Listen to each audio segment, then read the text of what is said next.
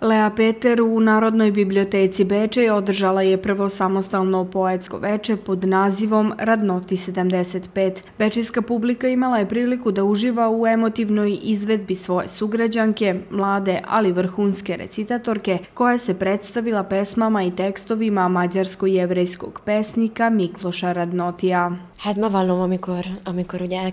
Kada sam počela da se bavim recitacijom, sanjala sam o tome da ću jednog dana imati svoje svoje književno veče. Bilo mi je zadovoljstvo kada me je Andraš Monoštori pozvao da zajedno napravimo književni program u čast memorialne godine Mikloša Radnotija. Oni koji me poznaju znaju da je on jedan od mojih omiljenih pesnika. Veoma volim njegov stil, njegove pesme, tekstove.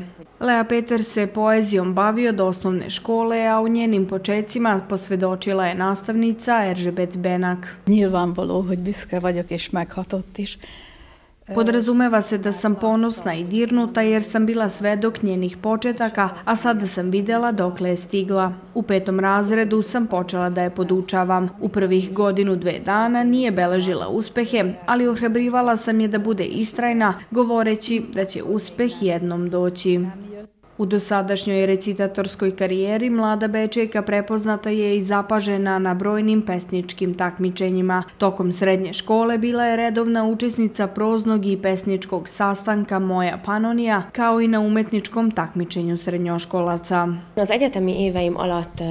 Na fakultetu, pored fakultetskih recitatorskih takmičenja, 2017. godine sam učestvovala na nacionalnom takmičenju koje se održavalo u Narodnom pozorištu u Budimpeštu Budimpešti gde sam uzela glavnu nagradu. Taj događaj je za mene predstavljao prekretnicu jer sam trebala izaći i recitovati pred mnogobrojnom publikom. Takmičenje je bilo na zavidom nivou i bilo je mnogo recitatora. Kada sam preuzela glavnu nagradu, to je za mene bio podstrek da nastavim da se bavim recitovanjem i potvrda da sam u tome dobra. Ove godine sam dobila Latonović posebnu nagradu i kaleidoskop nagradu na što sam isto veoma ponosna.